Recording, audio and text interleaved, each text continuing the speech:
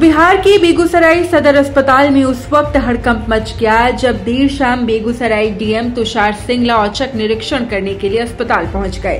हालाँकि डीएम तुषार सिंगला ने सदर अस्पताल की व्यवस्था को देखकर संतोष व्यक्त किया और कहा कि कुछ कमियाँ हैं जिन्हें जल्द ही दूर कर लिया जाए। तुषार सिंगला ने निरीक्षण के दौरान चिकित्सा कक्ष, चिकित्सकों की उपस्थिति, दवा वितरण केंद्र, आईसीयू, एसएनसीयू सहित मरीज़ के वार्ड का निरीक्षण किया। इस दौरान उन्होंने मरीजों से बातचीत भी की और उनकी समस्याओं की जानकारी ली।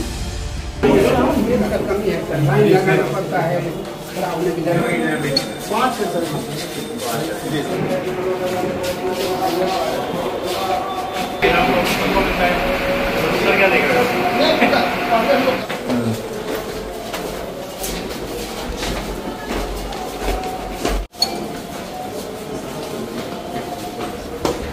मौके पर डीएम ने कहा कि सदर अस्पताल में व्यवस्था अच्छी है, लेकिन फिर भी अभी और मरीजों की संख्या बढ़ सकती है और सदर अस्पताल में इसके लिए उपयुक्त जगह भी नहीं है।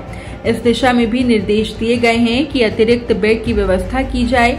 उन्होंने कहा कि ऑक्सीजन सप्लाई पर भी ज़ोर दिया जाए।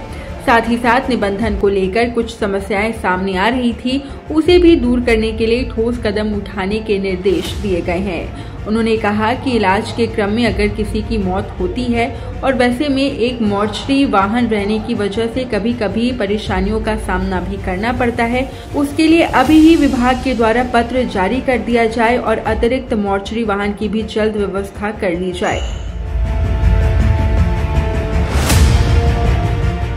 तो सदर अस्पताल में किस प्रकार का परिचालन है और कितने जहाँ पर आईसीयू या पीकू या फिर एस यूनिट में, जो पेशेंट का अवस्था क्या है लोड क्या है?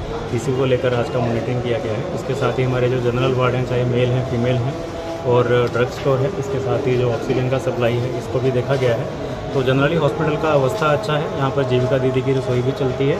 बट एक ही थोड़ा कंसर्न जो हम लोगों को लगता है कि पेशेंट का जो लोड है जो है हॉस्पिटल और भी ले सकता है, ज़्यादा पेशेंट यहाँ पर हो सकता है। स्पेशली हमारा जो आईसीयू है, या हमारा जो जनरल वार्ड है मेल और फीमेल दोनों में उसको लेकर ही हमने सिविल सर्जन साहब को भी बोला है कि इसको थोड़ा अपनी तरफ़ से वो देखेंगे। इसके अलावा यहाँ पर डॉक्टर्स का जो ओवरऑल जो अटेंडेंस है या उपस्थिति है, उसको लेकर भी हम लोगों ने बात की है। और हम यही प्रयास करेंगे कि आने वाले दिनों में जो भी इसके लंबित कार्य हैं सदर अस्पताल के वो पूरे हों। और इसके अलावा जो भी यहाँ पे नया कोई अगर प्रकल्प आता है, नया कोई प्रोजेक्ट आता है, उसको भी हम लोग लेकर आएँगे। हमारा यहाँ पे पीएसए प्लांट भी अभी पूरी तरह उस अवस्था में चालू नहीं है, इसको भी ठीक करवाएँगे। और इसके अलावा यहाँ पर ओवरऑल जो लोगों का फीडबैक है, जनता का जो फीडबैक है सदर सदर अस्पताल के प्रति, उसको लेकर भी हम हम लोगों ने जो भी करेक्टिव स्टेप्स उठाने हैं, वो भी हम लोग देखेंगे। इसमें एक बात आप जो है ध्यान रखने की ज़रूरत है कि बेगूसराय में क्योंकि प्राइवेट क्लिनिक और प्राइवेट हॉस्पिटल का बहुत संख्या में यहाँ पर है, जो हमारा हाईवे और जो भी इंटीरियर इलाके हैं, वहाँ पर भी काफ़ी मात्रा में हॉस्पिटल और डॉक्टर्स हैं। इसलिए काफ़ी पेशेंट का जो लोड है, वो डाइवर्ट हो जाता है दूसरे अस्पतालों में।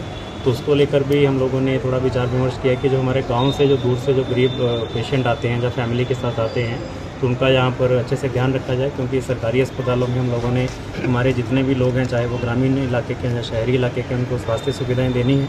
हमारे जितने हेल्थ के स्टाफ हैं ऑफिसर हैं, इसके प्रति सजग है, इसके प्रति उनको सेंसिटाइज भी विभाग की तरफ़ से किया जाता है। तो हम लोग का यही प्रयास रहेगा कि आने वाले दिनों में सदर अस्पताल और भी अच्छे और बेहतर तरीके डेंगू को लेकर क्या किस तरह से व्यवस्था किया है? डेंगू को लेकर ऑलरेडी हमारे जितने म्यूनसिपल एरियाज़ हैं ग्रामीण इलाके हैं सब जगह पर प्रचार प्रसार और जितना भी ब्लीचिंग पाउडर और बाकी जो जितनी भी पब्लिक प्लेसेज हैं वहाँ पर पानी का जमाव ना हो इसके लिए दिशा निर्देश दिए गए हैं। हमारे जितने डॉक्टर्स हैं स्वास्थ्य विभाग की तरफ़ से भी इस पर समय समय पर बात की जा रही है। और हमारे यहाँ पर डेंगू पेशेंट का लोड भी अभी इतना ज़्यादा नहीं है, लेकिन हम इसको लेकर भी ध्यान रखेंगे कि आने वाली अभी त्योहारों का सीज़न आ रहा है। अभी दुर्गा पूजा, दशहरा या उसके बाद दिवाली और उसके बाद छठ पूजा का टाइम है तो काफ़ी भीड़ भाड़ बढ़ेगा हमारे पब्लिक प्लेसेस में। तो हम डेंगू को लेकर सजग हैं। हमारे जितने नगर निकाय या ग्रामीण इलाके हैं, वहाँ पर हम इसका ध्यान रखेंगे।